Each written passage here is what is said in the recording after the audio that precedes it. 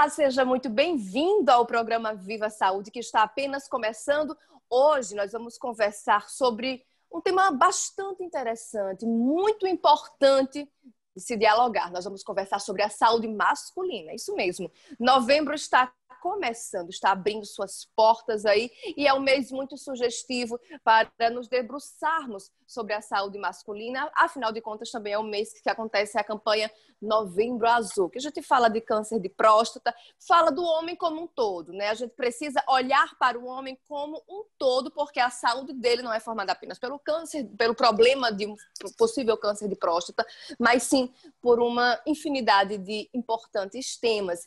A gente vai conversar sobre isso hoje. Afinal de contas, Outubro Rosa passou. Falamos bastante sobre a saúde da mulher né, durante o mês de outubro. E agora vamos conversar também sobre a saúde do homem, que é um tema muito importante. Só para você ter ideia da importância é, do Novembro Azul, de se alertar para a saúde do homem, em relação ao câncer de próstata, aqui na Paraíba, cerca de 356 casos foram registrados no ano passado. Neste ano, em 2020, já passam aí de 200, já são 215 óbitos, certo? No ano passado, é, 356 óbitos em 2019, neste ano já passam aí de 200. Então é importante a gente conversar sobre esse tema. Quem vai nos ajudar hoje a entender um pouco é o Dr. Fábio Martinez, urologista, que está conosco. Seja muito bem-vindo, Dr. Fábio. Obrigada pela participação. Olá, muito obrigado. Estou à disposição para a gente conversar um pouquinho sobre a saúde do homem, né? Uma coisa tão importante para nós homens, na realidade para a família toda, né? E estou à disposição. Doutor Fábio, é, em relação à saúde masculina, é, em relação aos sexos, homem e mulher, é, de fato, a mulher se cuida mais que o homem? Como é que fica aí o comportamento do homem em relação à sua saúde? É, essa é uma pergunta interessante, porque o homem ele se cuida muito menos que a mulher. Para você ter uma ideia, é, a mortalidade masculina é sete vezes maior do que a mortalidade feminina. Isso inclui, além de doenças, os cuidados. O homem ele se expõe mais a, aos perigos, ele se expõe mais à violência, ele fuma mais do que a mulher, ele bebe mais do que a mulher. Enfim, por conta de tudo isso, ele é acometido tanto de problemas de violência é, como também de doenças. E com isso ele morre mais. Para você ter uma ideia de outro dado interessante, em 2019, é, no mundo tinha 43 pessoas com idade acima de 110 anos. Sabe quantos homens tinha? Apenas um.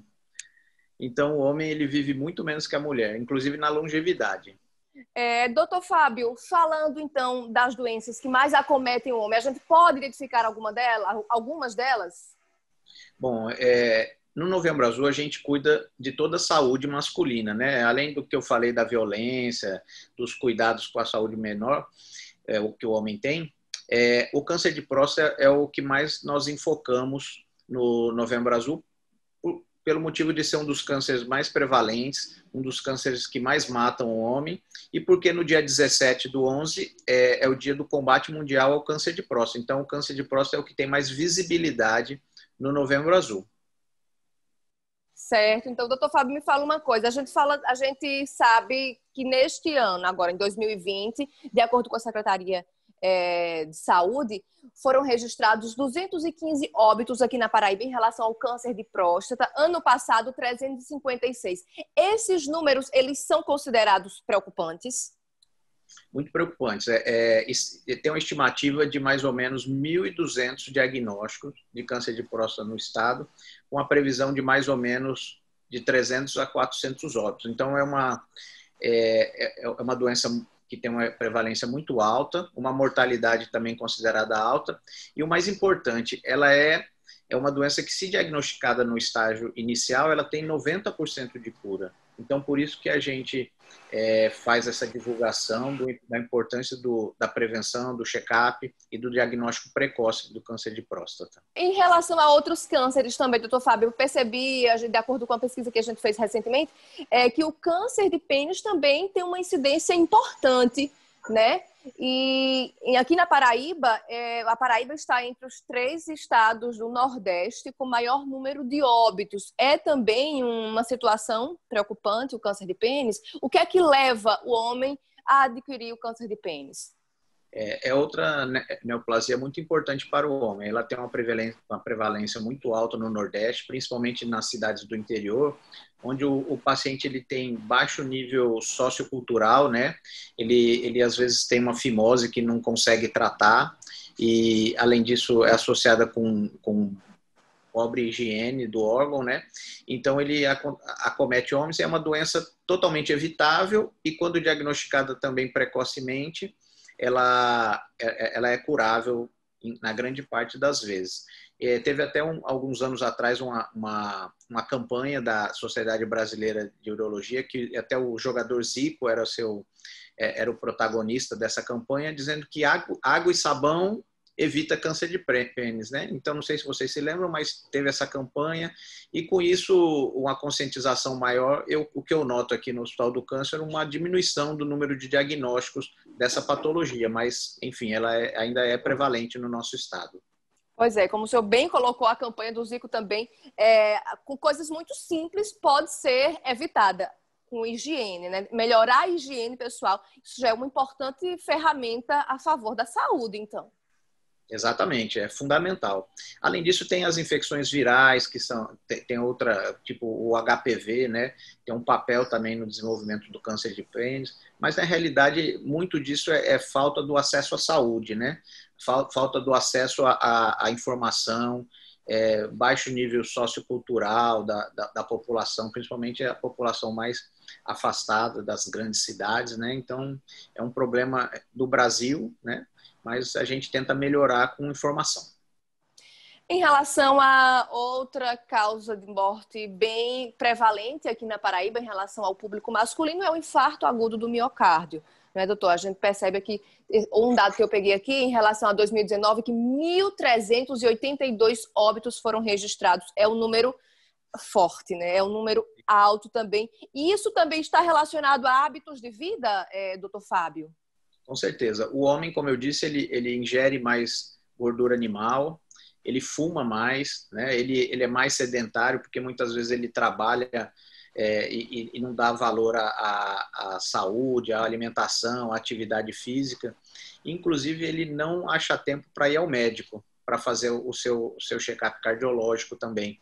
Então, outro fator que a gente tem que focar nesse Novembro Azul é a conscientização para o médico, para o, o, o homem se cuidar mais e se cuidar da, da, sua saúde, da sua alimentação, fazer atividade física, manter o peso e procurar ajuda médica. E uma coisa que eu, que eu queria ressaltar, tudo que é bom para o coração, todas as, as ações que favorecem o coração, por consequência, favorece a próstata também. Então, as pessoas que não fumam, que bebem moderadamente, que ingerem pouca gordura animal, é, comem bastante fibra, faz atividade física e mantém o peso, ela está, além de cuidando do coração, ela está cuidando da próstata. Então, você consegue evitar aí um arsenal de doenças, né? É, que vai bem mais além apenas do câncer de próstata, né? Ô, doutor Fábio, mas falando do câncer de próstata, é, ainda existe um tabu em relação ao exame do toque. Queria que o senhor falasse um pouquinho para a gente de rastreamento e também de diagnóstico. Ok. Olha, a, so a, Sociedade Brasileira de Urologia, ela recomenda que todos os homens acima dos 50 anos façam o seu check-up de próstata. Mas se o, o homem ele tiver um antecedente familiar, for da raça afrodescendente e, e for é, obeso, ele deve começar aos 45, porque esses três fatores que eu disse eles são os principais fatores de risco para o câncer de próstata. Então, deve começar um pouquinho antes, né? O rastreamento é muito importante, né, é, para o homem, porque ele diminui em 30% a mortalidade pelo câncer de próstata.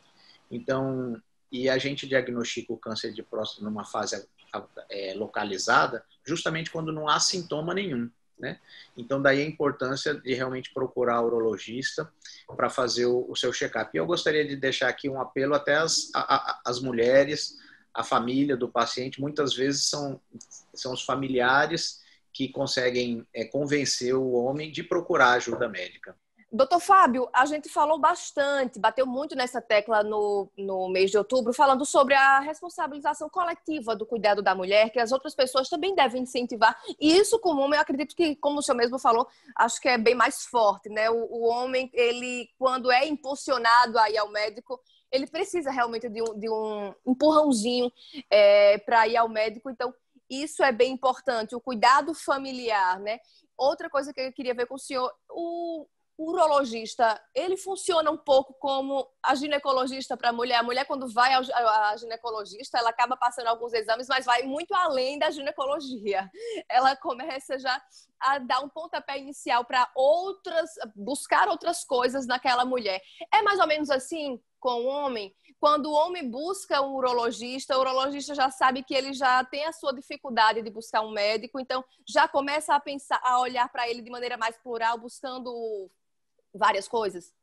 Com certeza, Mina. Uma, uma coisa que a gente nota é, muito frequentemente no consultório é a esposa levando o marido ou a filha levando o pai para fazer o seu check-up. Então, eles, eles sempre ouvem né, a família e, e é muito importante a participação é, do, do, núcleo familiar nesse cuidado com o homem. E, e em relação ao segundo questionamento que você fez, realmente o urologista, quando ele adquire a confiança do homem, ele se torna o, o, o médico dele para diversos assuntos. E dali, se precisar de um encaminhamento, é feito. Mas é muito importante é, para a gente essa conscientização do homem, né? Então a gente sempre foca nisso. É, doutor, existem quais são os outros exames que se fazem dentro do diagnóstico do câncer de próstata? A gente conhece bastante o, o, o exame to, do toque, né? Existe outra coisa que eu ia te perguntar em relação ao tabu já diminuiu? Os homens eles estão menos resistentes ao exame de toque? Olha, é, recentemente, acho que há, há, uns dois, três meses, foi feita um, um, uma pesquisa da Sociedade Brasileira de Urologia é, so, sobre esses assuntos. E um dado interessante é, que eu achei, apenas 3% dos homens não vão ao urologista e não têm intenção de, de ir em nenhum momento. Então, é uma, é uma, existe ainda esse tabu, mas ele está diminuindo, né? 3% é um número é, considerado baixo, mas ainda existe é, esse tabu de, de, de, consulta do urologista.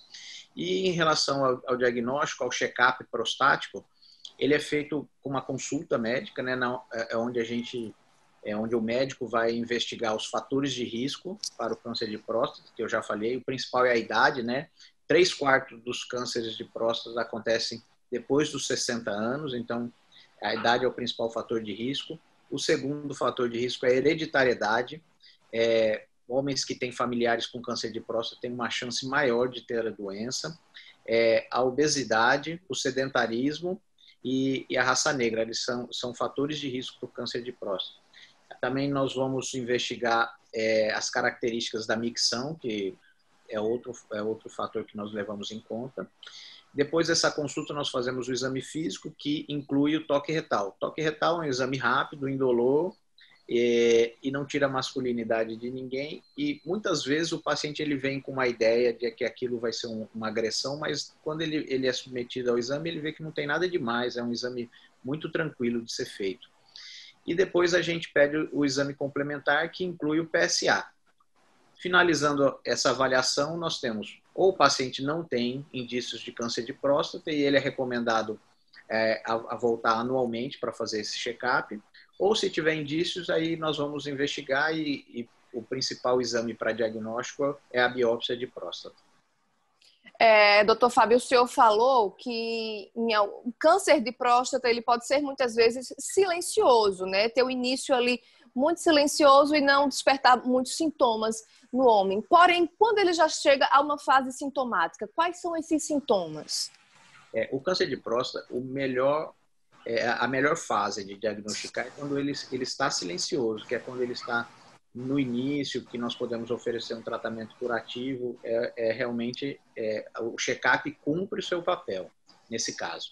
E no caso do câncer avançado de próstata, o paciente pode ter problemas é, na micção, ou o jato fica fraco, tem que fazer força para eliminar a urina. Ele pode ter sangramento a urinar. É, dores ósseas são comuns no, no, câncer avançado, já que o principal sítio de, de metástases a distância é, são os ossos, emagrecimento, né? Então, é, é, faz parte de toda essa, essa clínica do câncer avançado de próstata.